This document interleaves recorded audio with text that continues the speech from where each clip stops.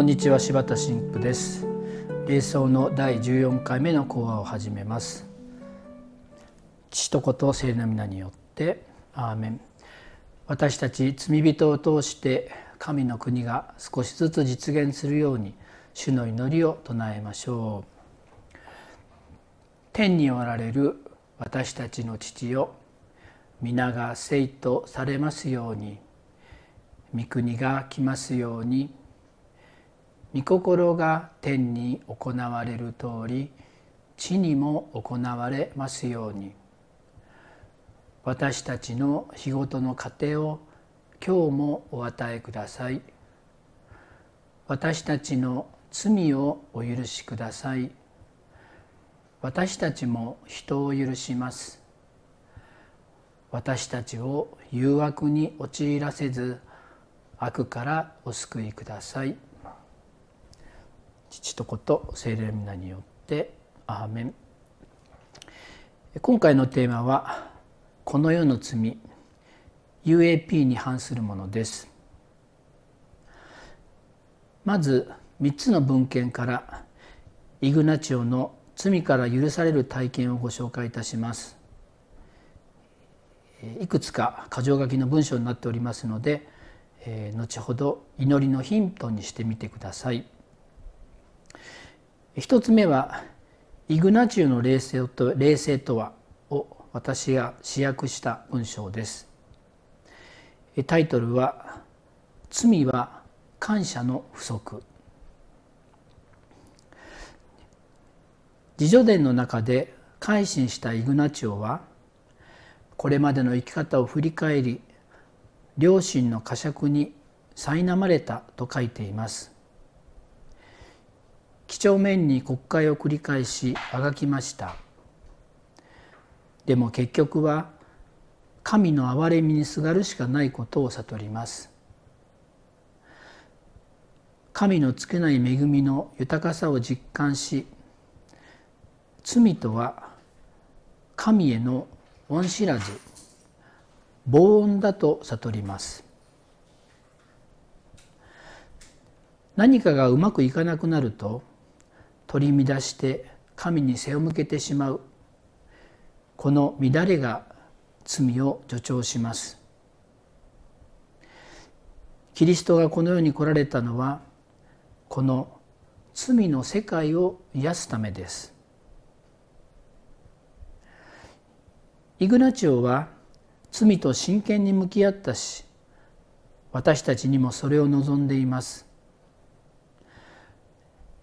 霊装65番から72番では地獄の黙想がありますけれども地獄さえ黙想するように指導しました。しかしそれは神の恵みの力強さを再認識するためです。イグナチオは神をイグナチオは罪を神の愛のコンテキスト文脈から見ていました。罪は感謝の不足です。神が私たちになさってくださったことへの無理解が罪です。霊想の第一週は罪からの清め生活の見直しが大きなテーマです。罪は神への感謝の反対。神に対する防音です。逆に神への恩返しで魂が救われます。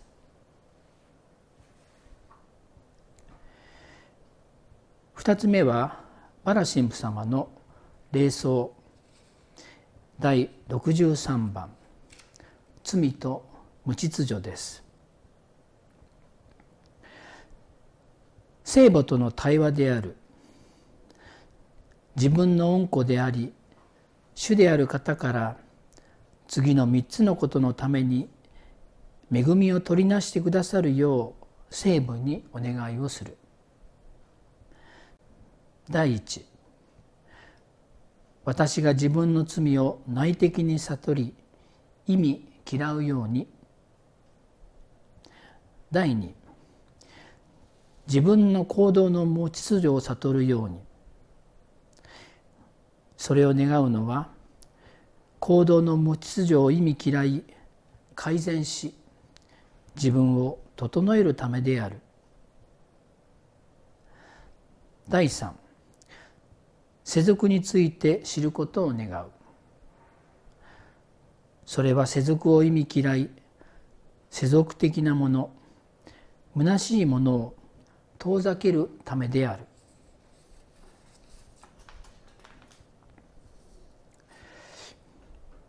三つ目は門脇神父様の役と仲介ある巡礼者の物語よりです。第一章。ロイラでの劇的な改心体験。イグナチオはただ考える人ではなく行為する人物だった。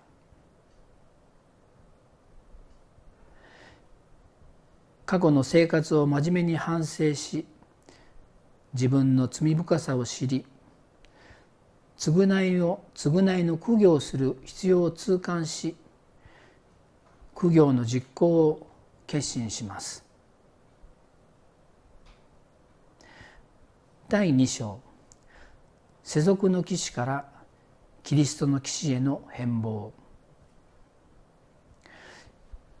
イグナチオは自分の罪の償いよりはむしろ神に気に入ること喜んでいただけることを目指して偉大な苦行をなそうと固く決心する。第三章。万霊差での浄化から神秘体験へ。彼が技能技能というのは悪の誘惑なのかそうでないのかわからない状態のことです。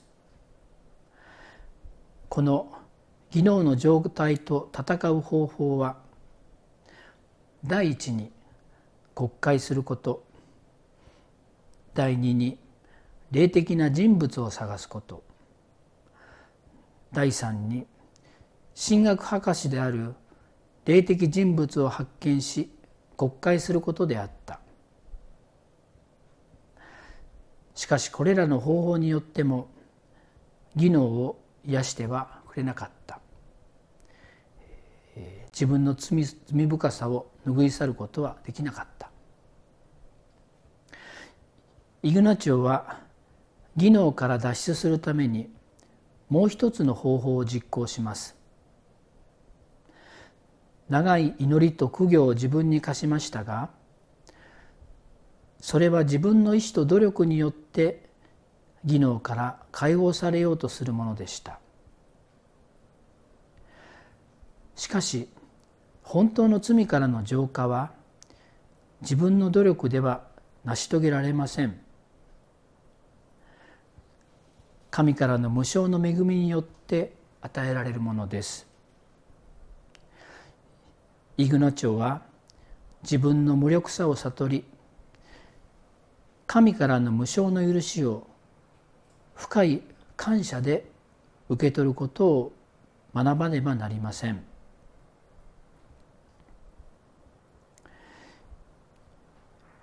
技能からの完全な解放は全く予想外の出来事として神から無償で与えられます。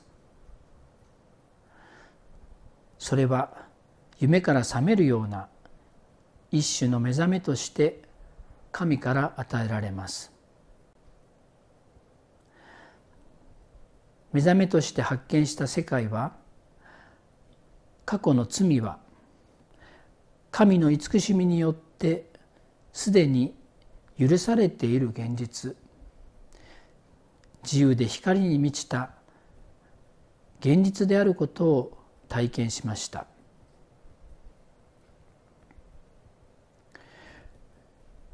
霊装53番には罪を黙想した後イグナチオはイエスの十字架を自分の罪と照らし合わせて眺めさせ3つの質問を私たちに投げかけます。キリストのために私は何をしてきたのか。キリストのために私はこれから何をしようとしているのか。キリストのために私は何をすべきなのか。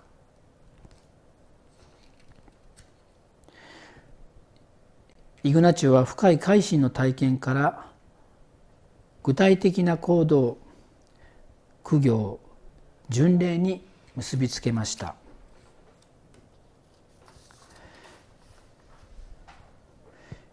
それではここで私の罪の状態神への防音の状態についてお話しします。サラリーマンで長く働いた後私は遅くイエズス会に入会したので大したことはできないとか能力の高い人にはかなわない自分は無力。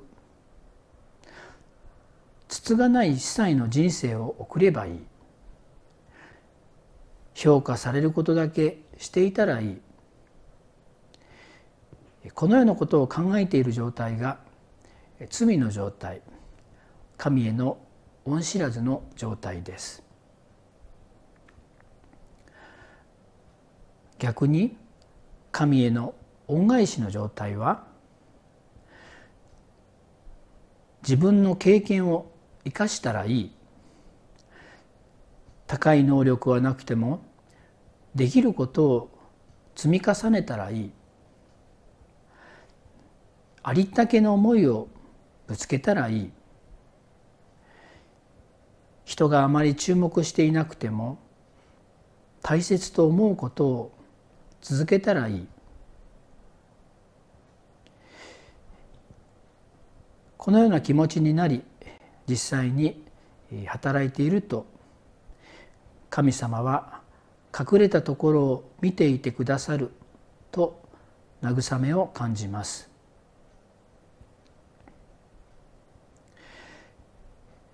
ここまでは罪についてのイグナチュの文献からご紹介しました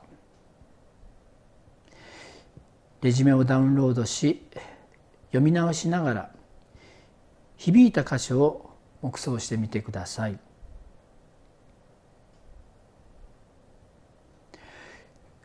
続いてはイエズス会への今後10年の使徒職全体の方向づけ4つの優先事項 UAP についてお話をいたします。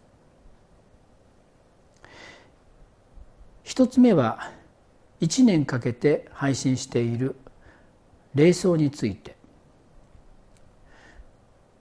2つ目は排除される人とともに7月9日に配信しています。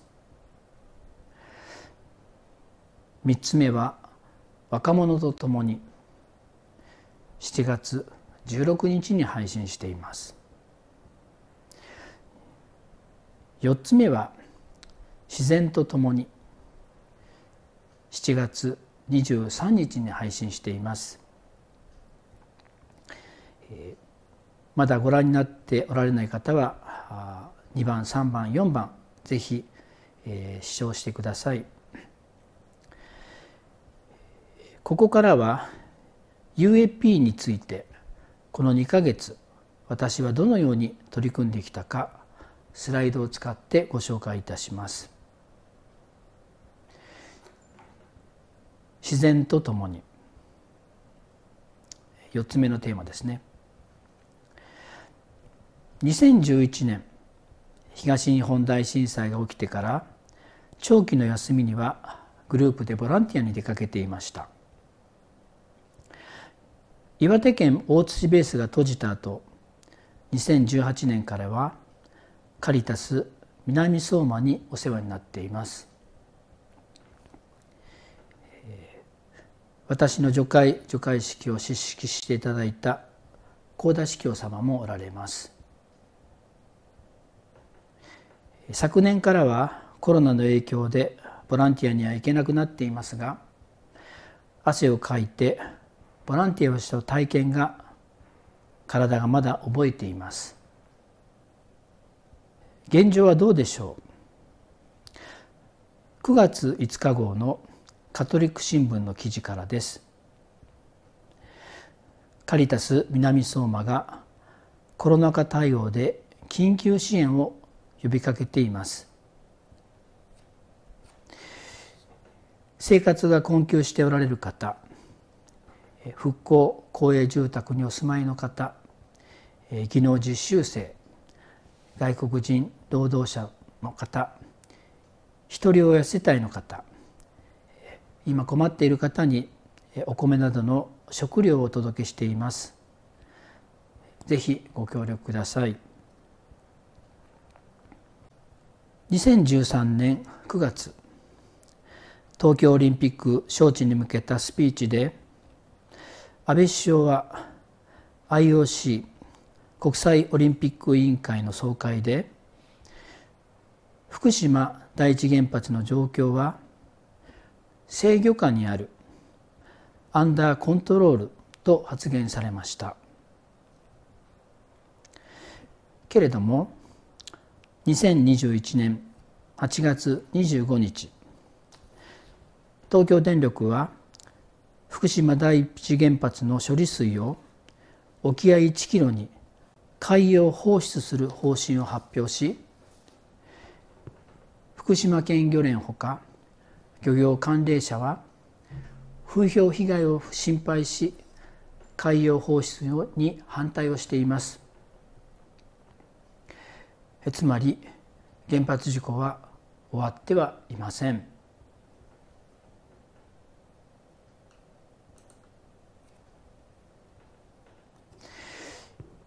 続いては2つ目と3つ目の UAP のテーマ排除される人と共に若者と共にについてこの2か月間でしたことです。4月山口から連れてきた100匹のカブトムシの幼虫は7月に羽化して37つがいになりました。教会学校のお友達のほかご家庭にお分けしました。すると300匹を超える幼虫になって戻ってきました。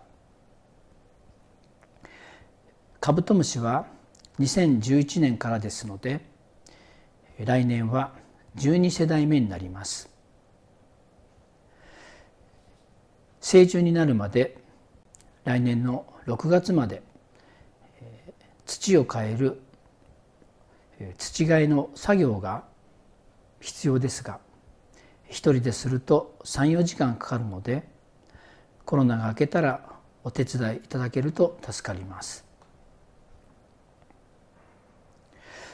夏の教会学校のイベントがなくなり自由研究のお手伝いになればとカマキリ神父さんの動画を作りました。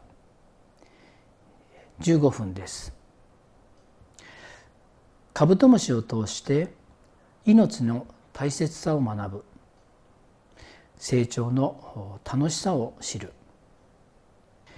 詳しくは動画をどうぞご覧ください。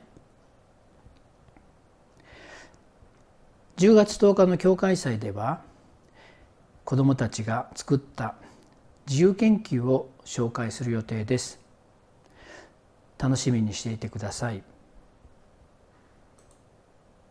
カブトムシ募金は難民支援協会さんにお届けしました。20万円ご寄付が寄せられました。これから秋冬に向かいますがアフリカから来た人たちに冬の寒さはとてもこたえます。越冬支援もまたよろしくお願いします。教会学校のお友達。そして山口の幼稚園の卒園児さんから初中お見舞いをもらいました。上手にカブトムシの絵を描いてくれています。続いては UAP の優先事項には入っていませんが命を守るためのお話です。強い体験が私を行動に向かわせています。この写真は児童74名が犠牲になった宮城県石巻市の旧大川小学校です。もうすぐ小学校卒業予定だったみずほちゃんを亡くされた佐藤敏郎さんが山口県の光市にも学校の先生を対象に講演に来てくださいました。その時のお話です。念のため教育はどのような未来を作るのか。東日本大震災は辛いだけの過去ではない。未来のための過去。南海トラフ地震の予測。とんでもない地震が来る。三十数万人が亡くなる予測。私たち教員はどのような未来を作るのか。地震が来る。津波が来る未来は変えられない。でも三十数万人が亡くなるという未来は変えられない。どうやって今考えて行動していくことで変えられる。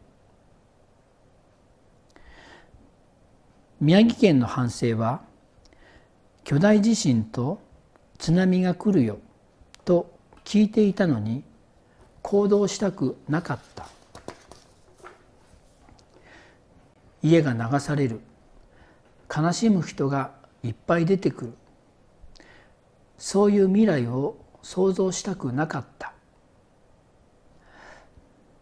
だから大丈夫じゃないか。大したことないんじゃないか。と油断した。大丈夫と言い聞かせた。違いますよね。私たちが想像しなければならない未来はものすごい津波が来ることを想像してみんなが念のために避難して丘の上で再会して「よかったね」と抱き合う未来を想像すること。みんなが亡くなって悲しむのを想像することじゃない。その未来を作るのは教育。脅しではなくハッピーエンドの教育。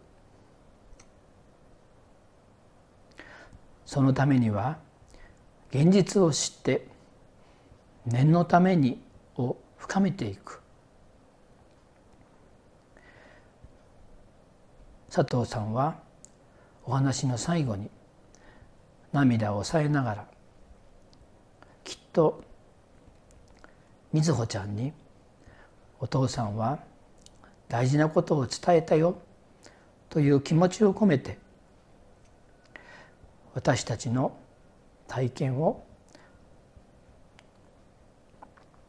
使ってください。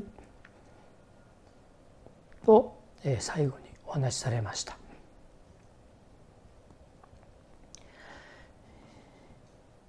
イグナチオの生き方はただ行動するただ考える人ではなく行為する人物になる。罪を頭で理解するのではなく心で感じることを大事にしました。心の動き情動が大事です。この2ヶ月私も防災に取り組みました。非常用リュックは2年前に作りましたが今回は携帯のポータブル電源を手に入れました。携帯約90回を5時間で充電できます。後からソーナーパネルが届きますが9.5時間で充電できるそうです。これからいろいろ試してみます。9月1日は防災の日で東京都では防災アプリを用意しています。とても役立つたくさんの企画があります。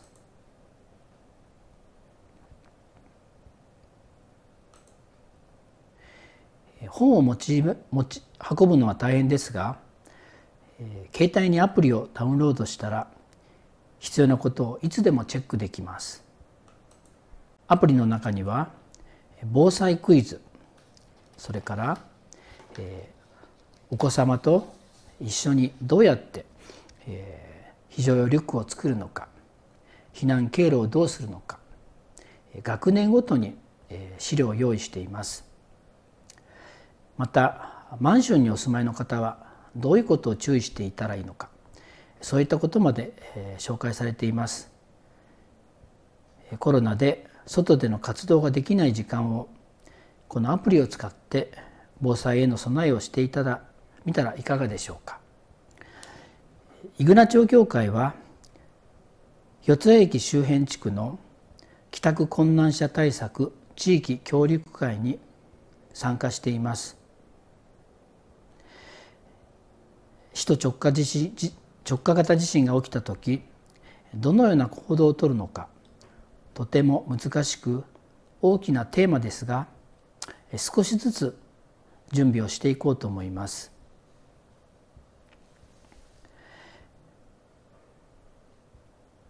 罪と防災には一見つながりはないように思いますが私にとっては神様への恩返しの一つです。